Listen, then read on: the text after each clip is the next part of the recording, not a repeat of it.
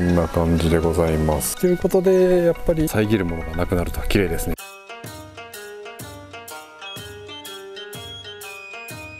サディカこんにちはのぶです。本日は沖縄県大宜味村にある絶景のカフェ。去年の夏にオープンした絶景のカフェ。そちらの方に行ってみたいと思います。ということで今こちら来ているのが沖縄県大宜味村でございます。大宜味村の塩屋大橋ですね。のぶ散歩はこの辺りまだかな。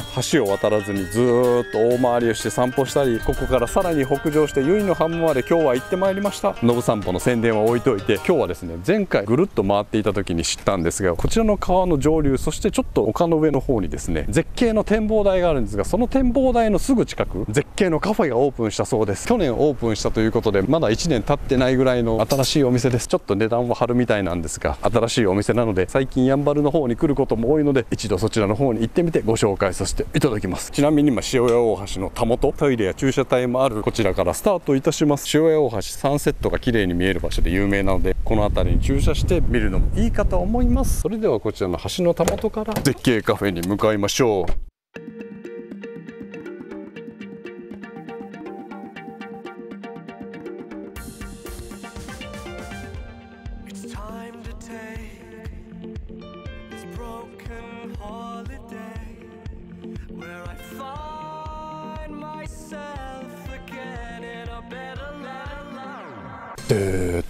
ということでこちらでございます。大宜味スカイテラスさんでございます。なんかめちゃめちゃ絶景なんですけど振り向くと絶景見えるんですけどとりあえず中に入りましょうか。さすが新しいだけあって綺麗ですね。って当たり前ですけどそれでは入ります。よいしょー。よいしょーって入ったけど。こんにちは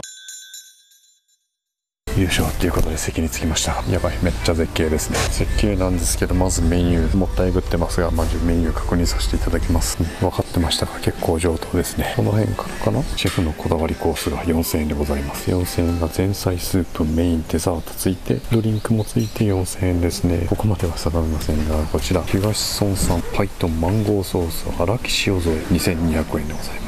そして本日の魚のマルセイユ風が2200円です。そして牛肉のカレーが1800円。ツナとトマトのブッタネスカが1800円。お子様ランチが1800円。そして標高230メートルで食す。特製刺身単品が1200円でございます。あと日替わりデザートをお皿につけると770円だそうです。こんな感じかな。あとパイトンの説明がこんな感じですね。ということでいいお値段ですが、うん、悩むな。まあでもここはカレーとかで1800円ならこのパイトン行ってみましょうか。もう相当上等だなすいません。ちょっと贅沢させていただきます。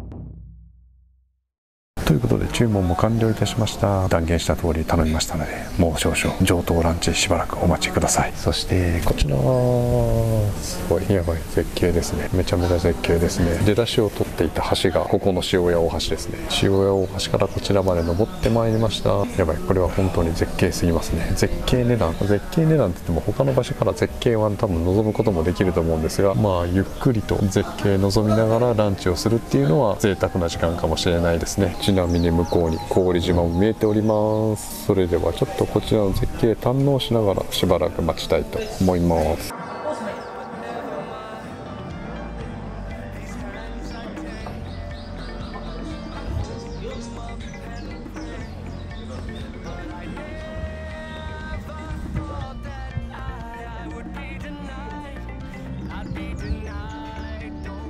ということで前菜のサラダでございます。ちなみにドレッシングは黄色い人参とパイナップルのドレッシングだそうです。それではちょっといただいてみましょう。なかなか美味しそうですね。やばい。贅沢ランチでございます。いただきます。うんうん。うん。うん。うん。結構パイナップルの味が強いですね。パイナップルの風味が酸味と甘みがあって美味しいです。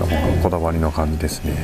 それではその次何が来るのが楽しみですと言いながらまだ食べてる途中です。サラダです。このちっちゃいのなんですかね。なんか面白いちっちゃいのがピントがちっちゃすぎてこないですがめっちゃちっちゃいつぶつぶが結構カラフルなのがあるんですよね。ピンクに赤にオレンジ。結構なんか白っぽいのもある。なかなか面白いです。なんかをくり抜いてるのかな。なんか面白いです。食感はなんか結構噛み応えのある感じですね。なかなか面白いです。メインはまだかなっていうことでやってきたのはスープでございます。すごいですね。なんかほぼちょっとしたコース料理ですね。白いんげん豆のスープだそうです。普段のランチと落差がありすぎて贅沢しすぎな感じもするんですがあとベーコンチップと胡椒が入ってるそうです。すごいなんかちゃんとそういった説明もあります。これで美味しそうです。それではこちらいただきます。うんなんだろうインゲン豆なのか分かんないですけどすごい爽やかというかコクがある感じですね。美味しいスープです。すいません。なんかこういうのも表現する語彙力なさすぎですね。美味しいのに違いないんですが結構このつぶつぶ感はインゲン豆なのかな。あ中にインゲン豆自体が入ってますね。さらではもう一口いただきます。うん。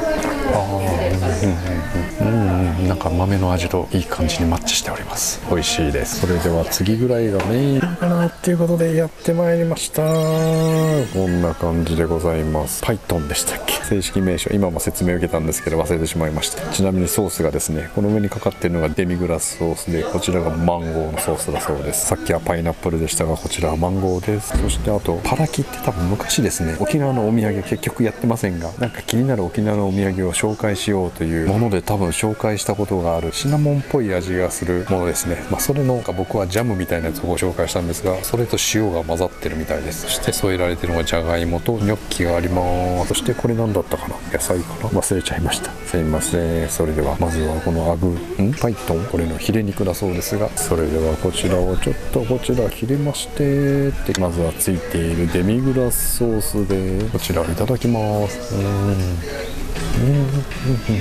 なかなか美味しいですなんだろうめちゃめちゃ柔らかいとかっていうわけじゃないんですがなんか濃厚な肉の味がしますうまいです結構しっかりとなんか焼かれてる感じですねそれではもう一つはこちらのマンゴーのソースもつけていただいてみましょうたっぷりめにマンゴーソースつけてこちらいただきますうんうんマンゴーの爽やかな感じが美味しいですねこれマンゴーソースをつけた方が美味しいかもしかし柔らかいってめっちゃ柔らかいわけじゃないんですけどしっかりと歯で噛み切れる感じの厚みのある肉なんですけどしっかりと歯で噛み切れる感じのお肉です美味しいですなかなか美味しいお肉ですがこちらなんとなく今回はパンにさせていただきましたそしておちょっとあったかいこちらのなんだろうセサミかなごまかなごまのパンをたっぷりバターをつけてうん、嗯。結構ごまな風味が強くて美味しいです。美味しいパン。しかしなかなか美味しいですね。それではもう一口。あ3切れ4切れもあったんだ。意外とたくさんありました。大きい2切れかと思ったら4切れでした。結構一口サイズでいけるかもですね。それではこちらのマンゴーソースつけてさらにいただきま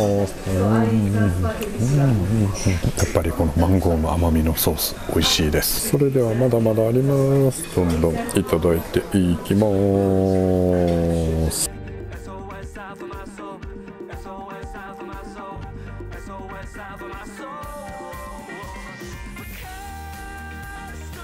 ということでまだ残っております。っていうかですねこの塩でいただく野菜が美味しいです。これナスかなこの野菜を塩でいただくのが美味しい。ナスいただきます。うん。うん塩も美味しいんですけどこのさっきのパラキちょっとシナモンっぽい味がほんのりしてそれが美味しいです。それでは再びさらにいただいていきます。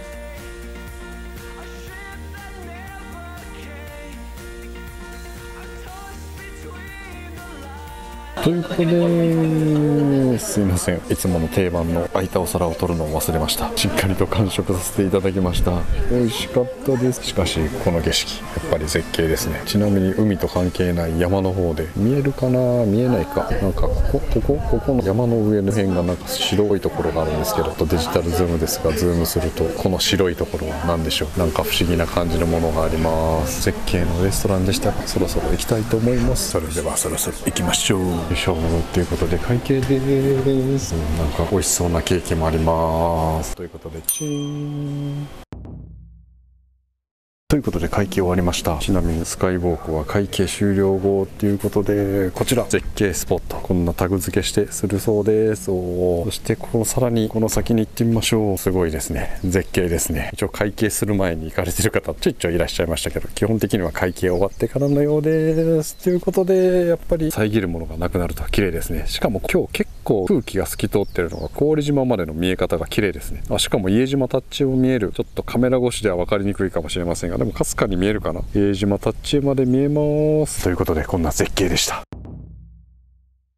ということでここに誰もいらっしゃらなかったらここでしばらくちょっとこんな感じで喋っとこうかな。ということで本日は沖縄県大宜味村にある大宜味スカイテラスさんで美味しいパイトン。なんかそこの名前が合ってるのかちょっと怪しいですけれどなかなか美味しいアグー豚でした。そしてソースが2種類でデミグラスソースとあとマンゴーのソース。あれがマンゴー酸味というより甘い感じなのでその甘い感じがですね結構お肉に合ってて美味しかったですね。お肉もですねそんななんかすごい柔らかい。まあ牛肉じゃないので豚肉なので当然なのかもしれませんが口の中に入れて溶けるっていうようなことはないんですが歯では全然余裕で噛み切れるぐらい柔らかいお肉でした。そして前菜のサラダのパイナップルのソースも美味しかったですね。パイナップルなんでそちらはちょっと酸味があってでもしっかりとパイナップルの甘みそういうのを感じられる美味しいドレッシングでした、まあ値段はですね2200円。コース料理で4000円、まあカレーで1800円ということで結構お値段張りますがこちらの。景色込みの料理と考えると、まあ、ある程度納得できる値段かなと思います。しかし本当に絶景ですね。しばらく誰もいらっしゃらないので独り占めしてますが休日になったらもうちょっと混むんでしょうね。平日でもやっぱり12時もあると結構お客さんいらっしゃいました。僕たまたまテラス席座れたんですがやっぱりテラス席座りたい方はぜひ予約して来た方がいいかと思います。ぜひ北部のドライブの際はこちらの大宜味スカイテラスさんでちょっと贅沢なランチいかがでしょうか。ということで本日は改めまして沖縄県大宜味村にある大宜味スカイテラスさんで美味しいアグー料理いただきました。そして絶景いただきました。こちらのチャンネルでは沖縄県民のための沖縄の情報を配信しております。この動画が役に立ったなと思っていただいたら高評価ぜひチャンネル登録もよろしくお願いいたします。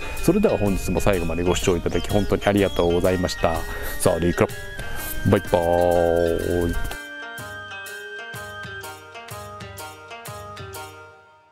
ちなみにこちらですね車止めたシーンで分かった方いらっしゃるかもしれませんが宿もあってこちらは本当に絶景の宿ですね。値段分かりませんが。向こうからこちらのスカイウォークこちらへのアプローチもあるのでなかなか絶景のお宿かと思います。この辺おまけになってしまってるかな。一応お店出たすぐのところに駐車場は2台あるんですがこちらは新商車用の車の駐車場です。こちらからもすでに絶景なんですがここちょっと登ったところに第一駐車場があってこちらが第一駐車場ですね。そして第二駐車場あちらにも駐車場があります。ちなみにホテルはホテル10っていうのかな？結構絶景のホテルがあります。